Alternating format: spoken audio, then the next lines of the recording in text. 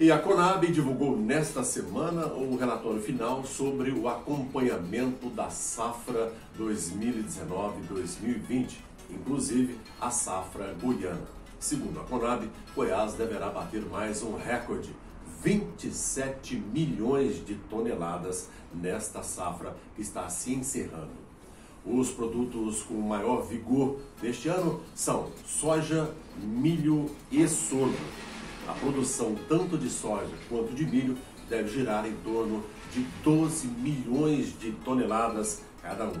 O sorgo, que Goiás é o maior produtor nacional, vai produzir 1 milhão 210 mil toneladas.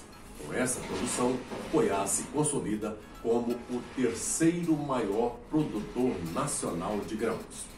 É isso aí, final de mais uma edição do TVC no Campo vocês estão convidados para o próximo programa. Até lá e um forte abraço.